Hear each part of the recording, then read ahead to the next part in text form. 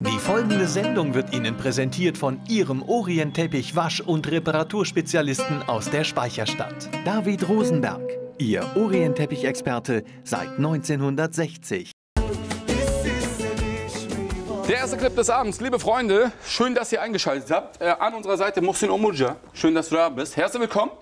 Danke, hoş bulduk. Äh, an dieser Stelle müssen wir aber erwähnen, liebe Freunde, am Tag der Aufzeichnung, das war der 23. April, wir zeichnen ja die, mei äh, die meiste Zeit die Sendung auf, haben wir natürlich äh, auch Zuschauer gehabt, weil der 23. April war in Hamburg Girls and Boys Day und deshalb wir leben ja im Zeitalter der neuen Technologie. Ich will euch mal zeigen, guck mal, meine äh, drei Gäste, meine, meine Super-VIPs sitzen nämlich da hinten. Winkt mal, Mädels. Guck mal da. So, das sind unsere Super-VIPs heute Abend, liebe Freunde. Und äh, sie gucken sich die Sendung natürlich live aus der Backstage-Perspektive an. Girls and Boys Day. Exakt. Ja. Aber kein Ton, ne? Ja, kein Ton, man, man hört sie kaum. Guck mal, jetzt sind sie voll verschüchtert, jetzt sagen sie gar nichts mehr. Nein. Musti, schön, dass du da bist. Eine Welttournee liegt hinter dir, mein Freund. Jo. Äh, hast du auf der Welttournee interessante Getränke äh, kennenlernen dürfen? Ja, aber die Namen kann ich dir nicht wiedergeben. In Japan. Keine Ja, Ahnung, Japan. wie die hießen. Ich weiß nicht. Sie haben mir einfach ser- serviert so zum Frühstück. ähm, äh, Die haben nach, ähm, naja, äh, Essig ge geschmeckt. Na, Aber ich Essig. weiß nicht. Ja, ja, genau. Zum Frühstück. Zum Frühstück. Nein, wir haben ganz normale Getränke hier. Wir, guck mal, ich habe Tee da, ich habe was Kühles da, äh, worauf du Lust hast. Ich nehme ich nehm so einen. Papa-Türk. Ich Äh, dachte, das, ich dachte, der passt zu dir, weil damit kannst du gleich eine Pointe rauswerfen. Ja, aber ich habe noch keinen Kebab gegessen. Du hast mir ja vorhin gesagt, ne? Das killt in Kebab. Äh, Den, den Dönergeschmack. Wenn das Dönergeschmack stimmt. und Geschmack und Geruch auch. Genau. Ja, ja, ja, ja. Vor allem den Geruch. Ja. Es soll ja dein Nachbar, dein Freund, dein Bekannter, deine Frau, deine Freundin sollen ja nicht wissen, dass du Döner Also Ich habe gestern wahnsinnig viel Knoblauch gegessen. Ja? Jetzt Siehst du? testen wir mal. Da, guck mal, das ist die Überleitung. Guck mal, wie kreativ sind. Apropos Knoblauch. Knobibonbon. Yes. Bak, Okay. Ba Bağlantıya bak Baba. baba. Aklına Was eine, Uh, ja, das Ding, äh, das. Ding ist hässlich grün. Also nicht wundern. Also hübsch ähm, grün. Gefährlich grün. Zum Wohl. ja, zum Wohl. Bei Knobi-Bonbon, Mhm. dein Kabarett, ich habe es ja gesagt, ähm, viele Zuschauer da draußen wissen es vielleicht wirklich nicht, aber man muss das äh, äh, beim Namen nennen, das Kind beim Namen nennen. Knobi-Bonbon, 30 Jahre alt, liebe Freunde, war quasi der Vorläufer der ganzen oder vieler, vieler Komödianten, Stand-up-Comedien, die heute sehr aktiv und sehr populär sind im Fernsehen. Exakt. Also 1985 haben wir angefangen. 85. Ich habe mich nicht versprochen. Und äh, wir waren äh, ein Duo, Schnas Dickmann und ich. Wir haben damals in Ulm das erste deutsch-türkische äh, Migrantenkabarett eben gegründet. Und Dieter Hildebrand war mit dabei. Dieter Das heißt, Hildebrand sogar? Dieter, ja, er, er ging äh, vor uns sogar auf die Bühne. Er war das Vorprogramm. Und äh, nach der Aufführung hat er uns mitgenommen äh, auf seine Tournee. Also wir haben eigentlich keine Anlaufschwierigkeiten gehabt. Wa- Was glaubst du, oder beziehungsweise wie siehst du die Entwicklung der, äh, der, der Migranten-Comedy? In den 30 ist ja viel passiert. Mann, es ist mittlerweile ist ja eine richtige Industrie daraus geworden. Ne?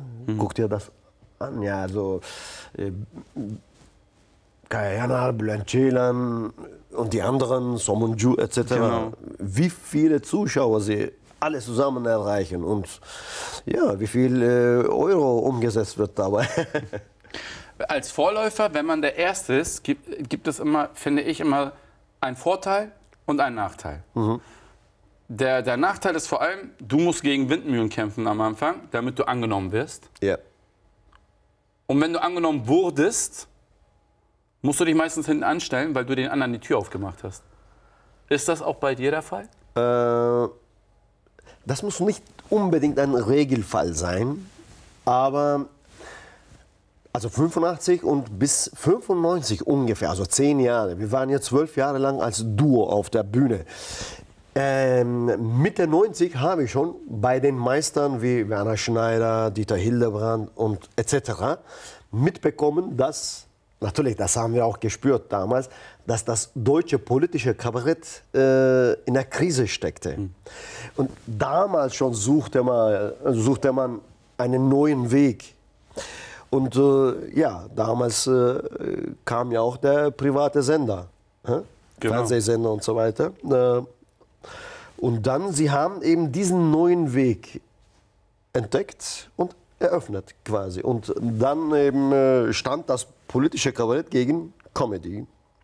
Okay, jetzt sehen wir, dass die beiden parallel laufen eigentlich. Also wenn ich äh, einfach jetzt auf meinem Plakat schreibe, äh, das Stück ist ein Kabarett, dann kommt eben Kabarettzuschauer, die etwas anderes erwarten als Comedy, äh, Comedy-Zuschauer. Ne? Aus diesem Grund, wir müssen äh, ganz genau wissen, was wir machen. Also ich habe mich für Kabarett entschieden und Kabarettzuschauer, also wir können äh, niemals ein Stadion füllen. Ich glaube, das ist es. Das würde ich aber, äh, das äh, kann ich unterstreichen, weil die Szene, die diese Stadien füllt, ist ja massentauglicher als das, was ihr tut. Weil ich glaube, man muss sich für dieses Thema speziell interessieren. Also ich Oder irre ich mich? Nein, nein, nein, das ist das. Das ist das eigentlich. Also wir machen Sport, okay? Wir machen Sport, aber äh, also ich spiele Basketball, äh, die anderen äh, spielen Fußball eben. Das ist eben massentauglicher. Tja, da sollten wir vielleicht zur Fußballszene wechseln oder so. Oder man ist damit zufrieden, was man hat. Man ist mit dem glücklich, was man hat. Das ist, glaube ich, Das die bin ich. Hauptsache. Das bist du. Dann äh, liegen wir auf jeden Fall auf der richtigen äh, Schiene. Äh, außerdem ist Muhsin Omuja bekannt für seine Karikaturen. Ja, er hat ja jahrelang auch für diverse Tageszeitungen karikatiert. Sagt man das so? Kari Karikiert. Kari Karikaturen gezeichnet.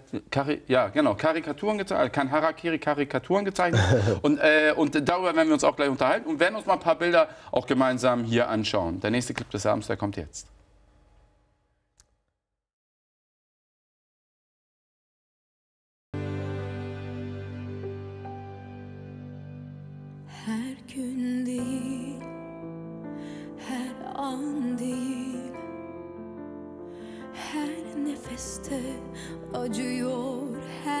Liebe Freunde, ich sag's immer wieder, eine meiner Lieblingskünstlerinnen, Atiye, auch äh, wie wir in der Türkei würde man ja sagen, Almancı, ja, liebe Freunde, Deutschländer.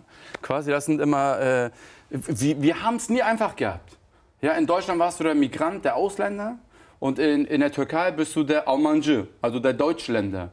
Irgendwie dazwischen. Was sind wir heute? Menschen mit Migrationshintergrund. Je länger wir hier sind, desto länger wird die Bezeichnung. Ja, aber ich bin ja immer noch davon überzeugt, dass mein Vordergrund besser aussieht als mein Hintergrund. Ama onu çözemedim. O başka bir şey. Genau. Dann, äh, du, War das jetzt Fishing for Compliment? Doch, Estağfurullah. Das wollte ich damit nicht sagen. Ich wollte nur sagen, Dinge ändern sich. Ja, aber darüber denke ich sehr oft nach. Also auf Veranstaltungen und so, wenn wir uns über äh, solche Dinge unterhalten, fällt mir das auf. Früher waren wir, guck mal, wir waren, äh, wir waren Kinder, Gast, nee, Moment, meine Eltern waren Gastarbeiter. Ich war Kind eines Gast, also Gastarbeiterkind. der Ausländer, Migranten. Ausländer. Ausländer, so, Migra ja. Ja, eben. Jetzt. Deshalb habe ich überlegt. Und jetzt gibt es eine neue Definition. Jetzt haben wir den Bio-Deutschen. Was sind wir dann für Deutsche? Ja, wir sind eben die Getürkten oder sagen wir mal Plagiatdeutschen oder schlechte Kopien, Aquariumdeutsche, Aqua- Süßwasserdeutsche. Zum ersten Mal. Süßwasser, wie du auf Süßwasserdeutsch? Ja, ja, also, wir mussten ja dafür nichts tun, oder? Um ein Deutscher zu werden. Nee, aber sind wir es dann? Das ist doch die definitive Frage, die wir uns doch regelmäßig stellen. Sind wir es? Also ich bin ein sehr guter Deutscher, finde ich. Weißt du warum? Warum? Das war eigentlich vorhin nur mal so ähm, äh, eine falsche Information. Also, ich habe lauter Tests machen müssen. Ne? Du auch? Oder? Für den deutschen Gar nichts. Hast du den deutschen Pass einfach so geschenkt bekommen? Ja, Nein, das ich. glaube ich gar nicht. Also ich Doch. nicht. Ne? Ah, Mit 19 gab es diese ganzen Tests. ich bin schwöre bei Allah. Ich, ich habe gesagt, ich Deutscher. Na, Wer denn? Hat Beamter Mann gesagt. aha, Hier. Chang, das war früher. Das war, wann, wann hast du den deutschen Pass bekommen? Wenn ich das sage, dann oute ich mich und dann sage ich 20, mein Alter. 30 Jahren, ne? Ist lange her, sagen wir es Okay, mal gut. Also ich habe sogar wirklich einen deutschen, also ehemaligen Türken kennengelernt, irgendwo, keine Ahnung, ah, in Bremerhaven, der kein Wort Deutsch kann. Immer noch nicht. Ne? Okay. Ein Deutscher, der geht zum Beispiel zu den äh, Behörden mit seinem äh, Dolmetscher.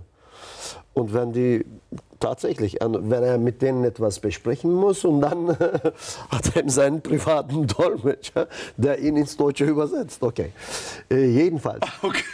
Muss gerade mal Ja, realisieren. ne? aber S- Seit äh, einigen Jahren, seit Frau Merkel, müssen wir lauter Tests machen. Okay? Dieser Einbürgerungstest. und so weiter und, Und so. so. Lauter Fragen. Ja, genau. Äh, Ich habe sogar mal ja, aus Jux so bei einem Test mitgenommen, äh, teilgenommen. Okay.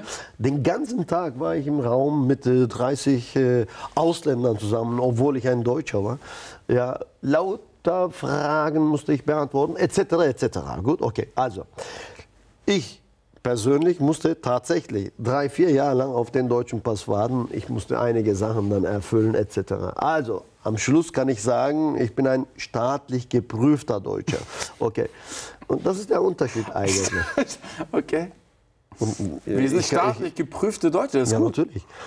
Und dann, Dann wir sind wir, können, wir, aber dann können, sind wir echt deutsch. Weil wir können darauf stolz sein. staatlich geprüft halt. Hm, Exakt. TÜV. äh, aber die anderen nicht, die Bio-Deutschen nicht. Die können nicht darauf stolz sein. Das ist der Unterschied. Also, damit haben wir die Definition jetzt mal für ein für alle Mal geklärt, liebe Freunde. Weil wir die sind Bio-Deutschen, staatlich geprüft, ne? genau, weil die Bio-Deutschen Zufallsdeutsche sind. weil sie reingeboren wurden. Exakt. Sie haben nichts dafür getan. Sie sind ahnungslos Deutsche geworden. Sie hatten gar keine Ahnung. Unbewusst. Also sie sind unbewusst Deutsche geworden. Sie sind unbewusste, ahnungslose Zufallsdeutsche. Aber unsere Kinder sind dann aber auch genau das. Ja. also das heißt dann, nur unsere Generation, Generation. darf stolz darauf sein, Deutscher zu sein. Staatlich geprüft. Ähm, ist es, aber ist das nicht heftig, dass wir immer noch über dieses Thema auch diskutieren? Vor allem, dass du es auch in deiner, äh, auf deiner Bühnenshow oder in deiner Bühnenshow noch Stell präsentierst? dir das vor, also vor 30 Jahren haben wir ja gesagt, vor 30 Jahren haben wir das erste deutsch-türkische Kabarett gegründet und das erste Programm hieß Vorsicht, frisch integriert. Gleich Das war vor 30 Jahren. Vor 30 die, die Jahren. Überschrift. Exakt, das Okay. erste Programm. Hey. Also es ging wirklich um die Integration. Und nach zwei Jahren haben wir schon ein zweites Programm geschrieben, weil wir der Meinung waren, ja, über Integration kann man nicht länger als drei, vier Jahre diskutieren. Also das wird dann nicht mehr aktuell sein. So haben wir dann ein zweites Programm geschrieben und ich glaube, Moment mal, 87, 88 waren wir schon mit dem zweiten aktuellen Programm auf der Bühne. Äh, es ging um das Wahlrecht für Ausländer. Und das Programm hieß damals Putsch in Bonn. Bonn war ja, Ja, die damals die Hauptstadt. Hauptstadt, ja. genau. So ging es weiter. Und siehe da, nach 30 Jahren machen wir immer noch Programme über die Integration, sogar mehr denn je. Wollte ich sagen. Und kein Thema ist so aktuell wie Integration gerade. Ja, Womit hat das zu tun? Womit? Weil die CDU es endlich mal ernst genommen hat vor also circa zehn Jahren. Äh, sie haben es dann eingesehen, dass sie das Thema nicht mehr ignorieren können. Und es gibt jetzt auch viel Geld in dem Bereich, wie ich gehört habe. 600.000 Menschen arbeiten in dem Bereich, Sozialarbeiter, Integrationsbeauftragte etc. etc. 600.000 Menschen, eine richtige Industrie. Da fließt Geld. hä? Wahnsinn. Also das heißt, man kann auch die Sache positiv sehen. Äh, Die Türken schaffen Arbeitsplätze, indem sie die Integration verweigern. Stell dir vor, von heute auf morgen lassen sie sich integrieren, okay? Ab morgen sind die Türken nicht mehr als Türken zu erkennen. Ja, was sollen diese 600.000 Menschen machen? Dann sind sie arbeitslos. Ja, so kann man es auch sehen. Eben. Liebe Freunde, wir müssen ganz kurz Werbung machen. Ich wollte ja schon vorhin, äh, hatte ich schon gesagt, möchte ich gerne äh, gleich mal auf die Karikaturen auch mal von dir eingehen. Ich, auf die freue ich mich am meisten, weil Mo- äh, Mohsin nämlich äh, unterwegs ist. Äh, darin äh, ist er ein ganz großer Künstler. Darüber werden wir uns auch noch gleich unterhalten, aber zuvor müssen wir äh, Werbung machen. Also bis gleich. Willkommen zurück bei Oriental Night. Weiterhin an unserer Seite Mohsin Obulja zum Thema Migrationscomedy. Ja, es hat sich vieles verändert, aber ich kann mich an die Zeit äh, von Mustin noch erinnern. Da hat er ja auch viel, wirklich viel mehr gezeichnet. Ich, oder vielleicht äh, täuscht es, äh, vielleicht täuscht er mich. Parallel habe ich hier. Aber du hast früher mehr Süddeutsche gezeichnet als heute, oder? Ja, ja, das stimmt. Viel mehr sogar. Also ich weiß Exakt. nicht, vielen Tageszeitungen und Ich habe Zeitschriften. ja für die Südwestpresse zwölf Jahre lang gezeichnet und dann ein Jahr lang hatte ich sogar eine, eine Comicstrip-Ecke äh, in der Taz. jede, also wöchentlich habe ich dort Kanakman, den Kanakman gezeichnet. Stimmt, Kanakman, ja, kann ich mich erinnern. Kanakman habe ich ja dann auch auf die Bühne gebracht. Aber irgendwann mal, als Schnasi und ich auseinandergingen, nach, äh, nach Knobi Bonbon, als ich auf der Bühne als Solo-Kabarettist stand, plötzlich fehlte mir was. Da habe ich dann eben meine Freunde in den Karikaturen entdeckt. Seitdem begleiten sie mich auf der Bühne. Äh, ich bin der Einzige, der äh, Cartoon-Kabarett macht. Cartoon-Kabarett. Cartoon-Kabarett. So nennst du das? Also diese Bezeichnung habe ich nicht selber erfunden, sondern die Süddeutsche hat es dann so betitelt. Ah, okay. Genau, Cartoon-Kabarett. Cartoon-Kabarett. Lass uns doch mal ein paar Cartoons mal, äh, beziehungsweise Karikaturen von dir mal anschauen. Äh, jetzt bist du nämlich verbunden. Ja, Hamburg 1 ist ja auf dem neuesten Stand, neuestem Level. Also ich hoffe, dass es verbunden ist. Genau, guck. Die, die Integrations, Integrationsindustrie sucht ja seit 30, 40 Jahren äh, eine Lösung, ne? äh, um die Türken zu integrieren.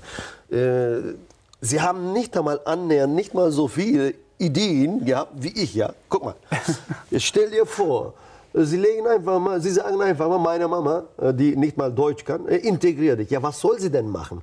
Deshalb dachte ich mir, Schritt für Schritt muss man ne, vorangehen. Also Schritt 1, Schritt 2 und so weiter. Und am besten auf äh, aller Ikea-Art. Also, ja, erinnert mich auch ein bisschen an Ikea, deine Exakt, Figur das da ist ja auch die, der Ikea-Charakter. Ne? Das habe ich ja von denen übernommen. Äh, also, à la Ikea, das versteht jeder. Es gibt keinen Text bei, der, bei Ikea, oder? Nö. Bei der Bauanleitung. Und das ist jetzt ähm, äh, Integrationsanleitung à la Ikea. Äh, die Idee stammt natürlich von mir. Nicht so, das versteht jeder, jeder Chinese, jeder Türke, jeder Italiener, okay, nicht so, sondern so. Äh, äh, sieht besser aus, bisschen also zivilisierter. Nicht so, trink doch deinen Tee, nicht aus diesem Glas orientalischen, sondern vielleicht aus einem Weinkelch. Würdest du das Oder- machen? Natürlich, Aus einem? Weinkelch deinen Tee Im trinken? Namen der Integration, was wir nicht alles machen. Mach keine Kinder mehr, sondern mach Dackel oder sowas ähnliches. Oder, ja, warum denn so aggressiv? Spiel doch Fußball. Oder, bitte nicht so, sondern so, etc. Also die Idee äh, könnten wir ja äh, weiter Weiterspinnen. fortführen. Genau, Ohne weiter Ende. spinnen. Ich würde sagen, alle Integrationsexperten sollten zu mir kommen. ich habe noch mehr Ideen für Sie. Ja? Und dann können wir sogar auch ein Punktesystem entwerfen, zum Beispiel bei diesen Geschichten, zum Beispiel bei den ersten Bildern. Also pro gelungenes Bild, pro gelungenes Schritt ein Punkt oder drei Punkte in Flensburg und so weiter. Erreicht der Türke äh, 100 Punkte, 200 Punkte, dann bekommt er den vorläufigen deutschen Pass, vorläufigen Claro, wie den vorläufigen Führerschein. Man kann ja nicht gleich Deutscher werden. Man muss erstmal beobachten, ob er sich wie ein Deutscher benimmt. Wie, wie Dings, äh, wie beim Führerschein zwei Jahre. Äh, Exakt. Äh, wie nennt man das? Probe. auch Probe, ja, Probe, ja, ne? Probedeutsche quasi. Also als, er darf sich auch Anfängerdeutsche nennen, zwei Jahre lang. Und macht er zum Beispiel ein äh, Undeutsches, äh, ein, bege- äh, begeht ein deutsch, un, undeutsches Verhalten, dann kriegt er zum Beispiel Punkteabzug in Flensburg etc. Und dann, pass ab, wieder äh, Zurück. genau, zurück in die Integrationsschule. Eine ernste Frage habe ich dennoch, weil du ja so viel Karikaturen machst. Karikaturen äh, polarisieren auch, führen sogar dazu, dass es leider auch negative Geschehnisse gibt. Zum Beispiel Charlie Hebdo, Ja. nachdem äh, eine Mohammed-Karikatur für Aufsehen gesorgt hat, ähm, haben dann leider Fundamentalisten halt äh, die Redaktionsräume von Charlie Hebdo angegriffen. Was denkt ein Karikaturist, wenn er sowas liest oder Es ist hört? erstaunlich, gell, dass Linien, dass Zeichnungen äh,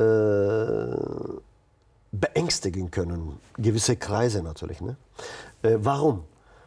Weil wir auch hier bei diesen Zeichnungen sehen können. ne, Das ist mir jetzt aufgefallen aufgrund des letzten, Ka- letzten Karikatur. Ich kann mir vorstellen, dass es wieder Leute gibt, die sagen, hm, muss das sein? Warum? Das ist ihr Problem. Äh, aber die Zeichnungen sind verständlich für jeden. Fast für jeden. Also wenn man auf den Text verzichtet, die Idee, die Kritik etc. alles nur mit Linien wiedergibt, ohne Text. Und sie sind verständlich für jeden dann, sowohl in Japan als auch in Amerika. Also Kulturen spielen dann, also kulturelle Unterschiede spielen dann keine Rolle mehr. Und das ist eine Sprache, man kann also mit ein paar Linien viele Themen ansprechen, Kritik reinstecken, die Pointe und noch dazu bis ins Lächerlichkeit ziehen, alles. Und das macht eben ja, diesen Kreisen Angst. Das ist verständlich. Und deshalb äh, stehen wir eben äh, ja, vor denen als Feinde. Ne? Heißt das, du sagst, es ist verständlich. Heißt das, dass du auch Verständnis hast für die Angriffe? Verständnis nicht. Ich verstehe sie oder ihre Angst, besser gesagt. Äh, sie müssen nämlich, um ihre Ideologie verk verkaufen zu können, sie müssen viel reden, viel erzählen, Überzeugungsarbeit leisten, etc. etc. Ein Karikaturist kann aber mit einer einzigen Zeichnung alles, Kritik, Meinung, Geschichte etc., mit einer einzigen Zeichnung äh, auf den Punkt bringen. Und äh, auch noch dazu verständlich für jeden. Nicht mal, manchmal spielt es, äh, manchmal spielt sogar nicht mal Bildungsniveau eine Rolle. Hast du gut erklärt. Also sehr verständlich. So, liebe Freunde, ich, äh, bevor wir uns noch weiter vertiefen, ähm, der nächste Clip des Abends steht an. Und danach äh, ich, würde ich gerne das Thema noch ein bisschen einkreisen, um zu gucken, wo ist die Toleranzgrenze beim Karikaturzeichnen. Aber das Ganze nach dem nächsten Clip.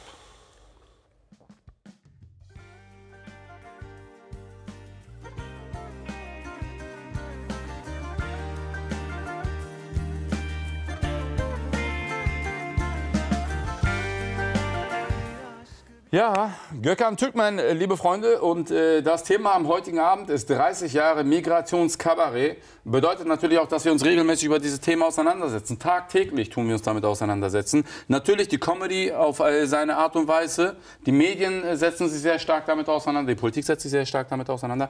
Aber das Visuelle ist auch ein bisschen auffällig. So wie du ja eben gerade gesagt hast. Es ist zum Beispiel sehr auffällig, dass die meisten Männer heute nicht nur ein Drei-Tage-Bart haben. Ja, ich trage ja gerne ein Drei-Tage-Bart. Ich habe es auch in letzter Zeit ein bisschen länger gehabt, aber mo mochte ich wieder nicht mehr. Aber es ist schon auffällig, dass viele Männer, so wie Gökhan Türkmen, einen sehr langen Bart hat. Aber du hast eben gerade den Satz äh, interessant benutzt. Hast gesagt, aber warum gerade heute? Warum glaubst du, dass es heute so ist? Ich weiß nicht, man muss sie fragen. Also es ist schon auffällig, dass es so seit, ich würde sagen, ein, zwei Jahren sehr extrem geworden ist. Exakt. Überlege gerade, womit könnte das Also, die nächsten Gäste sind äh, vollbärtige Männer. Und du fragst Hatte ich noch nie so richtig einen Gast mit Vollbart? Überlege ich gerade, weiß ich gar nicht. Nee, Oder nicht du, so. du lädst dich selber ein. Nein, komm, mein Drei-Tage-Bad ist ja nichts dagegen. Also der ist noch sehr mild. Äh, wir haben uns äh, darüber unterhalten, äh, die, ähm, nicht die Bärte, sondern die Integrationsarbeit, die ihr leistet, indem ihr Dinge ja kritisiert und äh, wo es auch Religion bzw. Differenzen gibt. Ja, wo, wo man das, du meintest, ich habe sogar noch was, was äh, auf dieses Thema äh, hinweist. Ah Ja, seit 30 Jahren beschäftige ich mich wohl oder übel mit dem Thema. Wenn ich ein neues Programm schreibe, fragt mich der Veranstalter immer, ja, gibt es bald ein neues Programm? Sage ich, ja, äh, worum geht es? Ja, über Geld, Glücklichkeit, äh, glücklich sein, etc., etc., also globale Themen. Und dann sagt er, ja, nichts über die Integration? Sage ich, diesmal nicht, ja, das reicht. Und dann Tatsächlich, das habe ich so oft gehört von den potenziellen Veranstaltern. Ja, wenn sie über Integration nichts geschrieben haben, dann warten wir mal. Wir warten Echt? ab. Tatsächlich, also indirekt werde ich gezwungen, in jedem Programm Minimum 10, 15 Minuten über. Integration etwas Darf ich was sagen? Ja, Ganz sag. ehrlich. Ich sage ja immer wieder in dieser Fernsehsendung, dass es ja Phasen gibt, wo ich keinen hab, ja, darüber zu reden. Ich kann es mir vorstellen, dass du es ja noch schwieriger hast. Ja, ehrlich, weil ich kann ja zumindest in meiner Fernsehsendung ab und zu sagen, weißt du was, ich habe heute keinen Bock darüber zu reden, ich mache es einfach nicht. Punkt. Weil ich muss nicht darüber jeden Tag reden. Tja, dann kann ich meine Programme nicht verkaufen. Tja. Eigentlich ist es da nichts anderes, was Kaya Yanar oder Bülent Ceylan machen. Sie erzählen ja auch von den Türken, also Türken deutsche Geschichten. Auch wenn man nicht unbedingt das Thema Integration beim Namen nennt. Ne? Solange wir über Deutschen und Türken Geschichten erzählen und sie gegeneinander stellen, eigentlich wir tun nichts anderes als Aufklärungsarbeit über die Integration. Ich glaube, das wird noch ein Weilchen dauern. Du, hast was, äh, du wolltest mir noch was anderes zeigen. Exakt. Also ich habe dir gesagt, ich habe ich glaube, mehr Ideen für, also über die Integration habe ich mir seit 30 Jahren wahnsinnig viele Gedanken gemacht, mehr als ein Sozialarbeiter. Äh, zum Beispiel, ich habe mich immer gefragt, bei den Kleinkindern, um die Angst vor den Monstern, Hexen, Schwarzen zu nehmen, was macht man? Man kauft so Puppen, ne? Man legt diese Puppen schon in die Wiege. Ne? Also dann habe ich mich gefragt, warum gibt es keine Türkenpuppen? Also die Deutschen haben ja dann nicht unbedingt Angst, aber so ein Abstand, so eine ne, Distanz zu den Türken. Also wenn wir die Integration, die gesunde In Integration erreichen wollen, sollten irgendwelche Geschäfte, na, innovative Ideen, bitteschön, auch noch nicht mal patentiert. Hm? Warum gibt es keine Türkenpuppen? Man Also eine Ali- und Eiche-Puppe. exakt. Wenn ein Kind mit solchen Puppen, mit Eiche und Alice groß wird, ne, selbst beim Umziehen und so weiter, wird er sein Ali und sein Eiche Immer mitnehmen. äh, mitnehmen. Ja? Und noch dazu, es gab ja früher ein äh, japanisches Spiel namens ähm, Tamagotchi. Tamagotchi. Ja, genau. Füttere Tieren, ja, mich, äh, liebe mich, äh, streichel mich. Wir Mein können Hund ja war dieses. nach einem Jahr tot damals. Stell dir vor. Äh, wir- Nicht Jahr, Tag. Ne? Stell dir vor, wir bauen dieses System in, äh, in diesen Puppen hinein und wir benennen sie auch so. Kemal Goci, äh, Bedo- Bedo Goci, Aisha Goci, Emine Goci. Und äh, die sprechen dann auch mit dem Kind. Dann, äh, füttere mich, streichle mich und so weiter. Es kostet auch nicht viel, Mann, oder? Ja. Man könnte auch auf diese Art und Weise mal testen, probieren, mit Kuscheltürken sozusagen. Vielleicht, vielleicht das ist die Lösung für die gesunde Integration. Vielleicht. Also wir nennen das jetzt die Kuscheltürken. Ja, genau. Kuscheltürken, sehr gut. Ich glaube, damit gehen wir auch jetzt in die Werbung. Liebe Freunde, vielleicht gibt es jetzt zwischenzeitlich äh, innovative Start-up-Unternehmer da draußen, die sagen, tolle Idee, wir übernehmen das, den Aiche Gocci und den Ali Gocci. Aber ein Für- Prozent bitte. Für, für den Erfinder, natürlich. Äh, der innovative Geist soll ja auch unterstützt werden. 1% für Muhsin, 98 für mich und 1% Wir sind dann im Geschäft. Bescheid, wir sind im Und Geschäft. dann mache ich kein Kabarett mehr, Mann. Ey. Ja. Liebe Freunde, wir machen jetzt ganz kurz Werbung und nach der Werbung kommt die Challenge. Ja, Muhsin gegen mich, ich gegen Muhsin. Seid gespannt, mal gucken, wer heute den längeren Atem hat. Willkommen zurück bei Oriental Night. Liebe Freunde, das ist das türkische Alphabet A, B, C und D. Und das reicht auch. Mehr brauchen wir nicht. Wir sind, Oh, wir sind damit die. Ü. Achso, und das Ü. fehlt. Achso. Äh, kennt ihr noch den alten Witz äh, von, äh, den haben wir uns früher mal erzählt. Kennst du das türkische Glücksrad? Nein. Ich kaufe ein Ü. Ding, ding, ding, ding, ding, ding, ding, ding, ding, ding. Okay. So, liebe Freunde, zehn Fragen. Äh, Multiple Choice, das heißt, zu jeder Frage gibt es vier Antwortmöglichkeiten, A, B, C oder D. Wir halten jeweils zusammen, Muhsin, die Antwort in die Kamera. Nach zehn Fragen schauen wir mal, wer gewonnen hat. Und der Verlierer muss etwas machen. Was das ist, weiß ich nicht, ist dann immer hinten in diesem Körbchen versteckt. Ich weiß es auch nicht und die Fragen kenne ich auch nicht. So, wollen wir starten? Are you ready? Dann mal los. Erste Frage. Frage Nummer 1. Wie lautet Heinos bürgerlicher Vorname? A. Heino. B. Heiko. C. Hans Georg. D. Heinz Gregor. Ich glaube, ich weiß es. Ah, du auch? Auch. Ja? Wenn stimmt. Heinz Georg. Guck mal hier. Stimmt. Zwei Experten. Ja, das stimmt. Wahnsinn, Mann. Wahnsinn. W warum weißt du war- das? Nein, das war ein Zufall. Achso. Ich habe es bei DSDS gehört. Mal. Einmal, zweimal ist es Also. nämlich dort gefallen. Heinz Georg. Nein, Deshalb. ich habe über ihn ein, äh, eine Szene geschrieben. Deshalb. Ah, Sehr gut. Vor 20 Ich hab's- Jahren. Okay. Gut, okay. Frage Nummer zwei. Nach was schmecken grüne Gummibärchen? A. Apfel, B. Kirsche, C. Kiwi, D. Erdbeere. Ah, ah. Ne.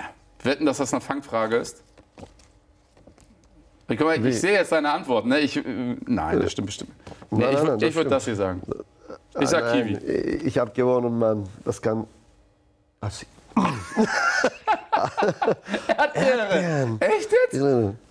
Was schmecken denn die Die grünen auf Gummibärchen die nach Schippe, Erdbeere? Mann. Im Regieraum sitzen sie, sie, sie machen sich lustig über uns. Krass, hätte ich aber nicht gedacht. Erdbeere. Also ehrlich gesagt, an Apfel habe ich überhaupt nicht gedacht.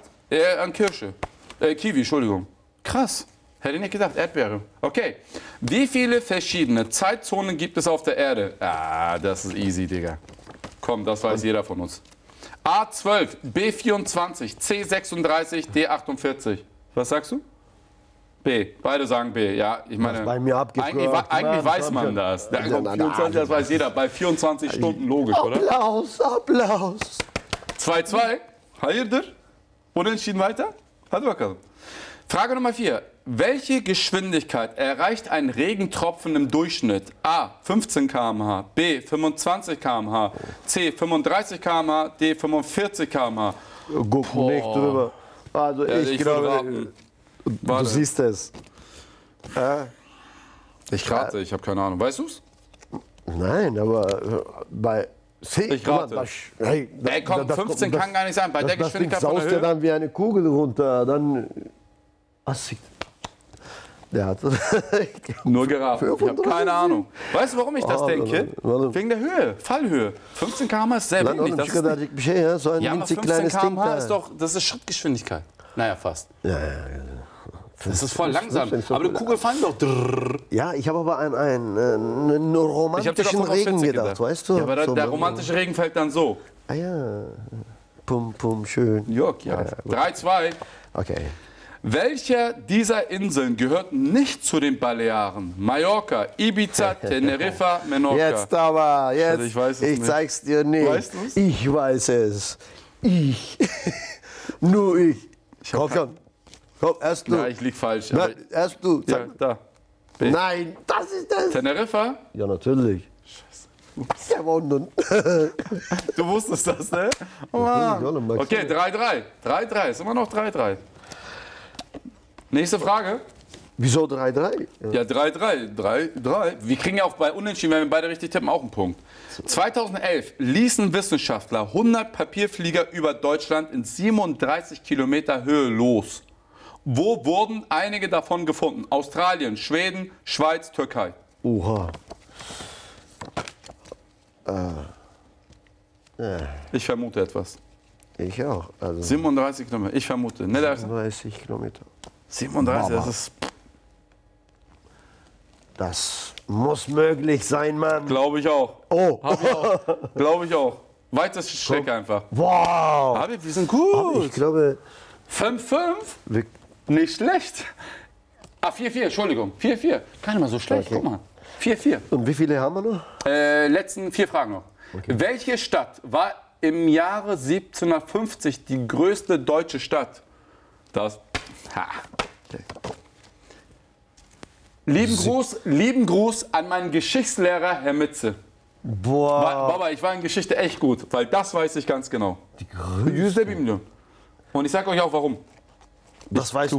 Bin, ja. Wirklich? Ich weiß es. Also, ich glaube, dass ich es weiß. Das auf keinen Fall. Äh, Kann das sein, Brüssel? Das kann nicht sein. Vay abi olamaz. Ulan Muhsin. Atacağım lan. Hat Cum. Wien. Brüssel dedim bak. Großdeutsches Reich. Es müsste Wien sein. Wow. Hallo, Herr Mitze, mein Geschichtslehrer. Ich habe in Geschichte mal gut Aber aufgepasst. warum Brüssel? Hä? Wie kommst du auf Brüssel? Weil ich äh, vor zwei Wochen da war und dann lauter Deutsche. Sie haben mich bedient. Da hatte ich woher können. 5-4, ne? Okay, ich führe wieder. alles. 1750, Papa. Oder? Alles ist möglich, ja, nicht gewesen. Das ist möglich. 1750, Wie Syrien war viel, Türkei. wie viel wiegt eine Matratze zehn Jahre nachdem sie gekauft wurde? A, genauso viel. B, die Hälfte. C, das Doppelte. Circa drei Kilo mehr. Ey, keiner. Pff. D, Baba, D. Ich bleib dabei. Mehr? Natürlich, du hast gepinkelt, gefurzt, etc. Alles ist drin. Ja, aber wie. Ach, Quatsch, Mann. Komm schon mal. Du musst das doch ab. Nein, genau, Gib mir D. genauso viel. Gib mir Ah. D. Wieso denn? Das Keine Ahnung. einfach- Bilmiyorum baba. Ich, ich, ne diyorsun? Das Doppelte. sogar. Guck mal. Ach, Schweiß und bla. Ach, Ja, hab ich doch gesagt, recht. oder? Daran habe ich nicht gedacht. Okay, ich führe noch. 5-4. 5-4. Zwei Fragen noch, mein Freund. Du kannst noch äh, einholen. Wie viele Menschen auf der Welt haben noch nie Schnee gesehen? A. Ein Fünftel. B. Eine, also die halbe. C. Ein Drittel. D. Zwei Drittel. Äh, dazu gibt es nur eine. Das ist meine Schätzantwort. Das ist das. Ich bleib dabei. Ich auch. Nein, das ist nicht Komm, gut. Afrika, Südamerika, ja, die zwei Drittel. gut. Da muss Kann man ja logisch nachdenken, ne? Baba, ich führe. Jetzt kannst du noch unentschieden schaffen. Wo steht es aber? 6-5. Was? 6-5, wo Ja, steht ich es? merke es und Diana sagt es mir auch aufs Ohr, sie passt Ah ja ja, auf. ich soll dir blind glauben. Okay. Musst du. Wie viel Prozent der Fläche von Deutschland ist Waldfläche? Verdammt, ich hätte bei die, äh, äh, Haben wir einen Joker? Kann ich einen Kollegen von den Grünen anrufen? Nicht A das, 20 Prozent, B bleib 31, dabei. C 40. 41? ja, Ne. ich Ah, bleib da dabei. D. Nee, ich nehme B. Ja, aber Ein Drittel. ich bin heute geflogen. Und dann habe ich lauter Wälder gesehen. Das, wow, der hat gewonnen, Mann. Äh, So, gibt es hier keinen Telefonjoker oder so? nee, du hast verloren, mein Freund. So, schauen wir mal, was wir hier haben.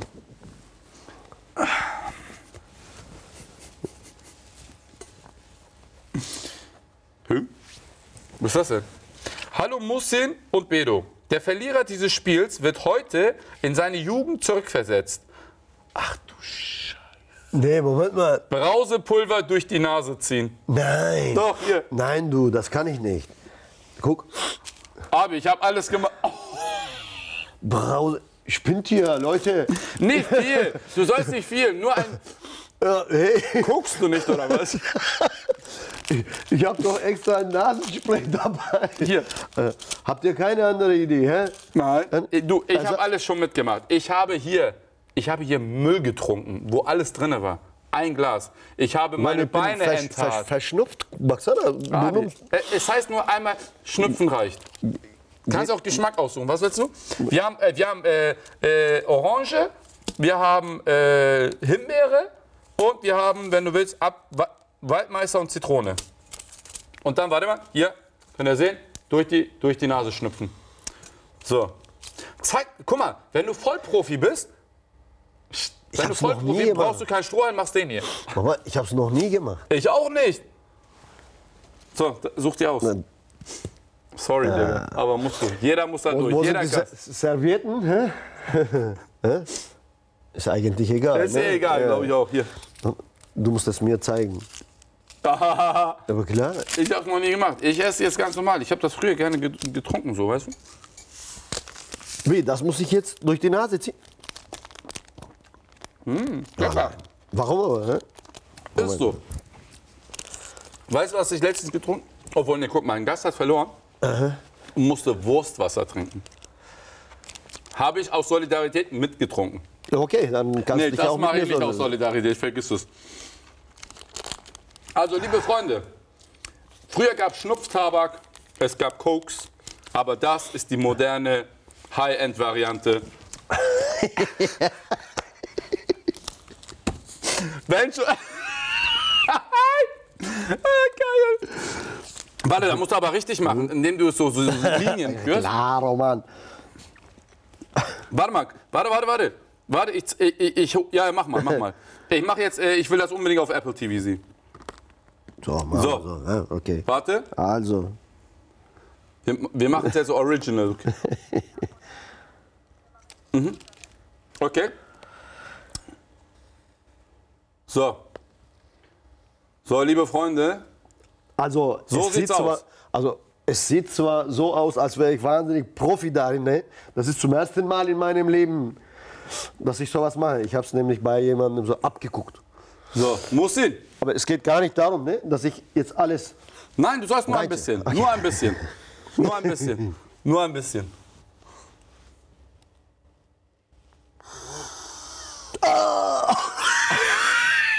Scheiße! Oh, das war doch noch gar nichts. Was? Na, willst du sehen? Gib mir mal dein iPhone. Oh, es brennt hier, Mann. Ah, aber das tut vielleicht gut. Also, das Hier heißt, auch. das reicht. Moment, Moment. Ja. Vielleicht gegen meinen Schnupfen, weißt du?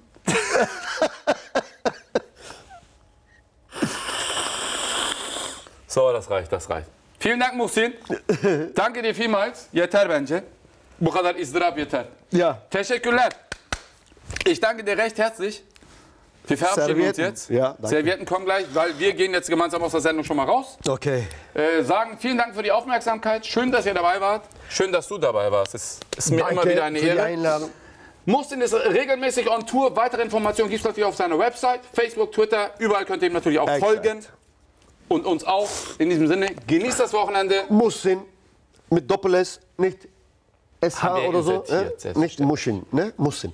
Okay. Nicht Muhsin, sondern Muhsin. Und mit N hinten dran. In diesem Sinne, ein schönes Wochenende. Bis zum nächsten. Ciao. Und tschüss. Präsentiert von Ihrem Orientteppich Wasch- und Reparaturspezialisten aus der Speicherstadt. David Rosenberg, Ihr Orientteppich-Experte seit 1960.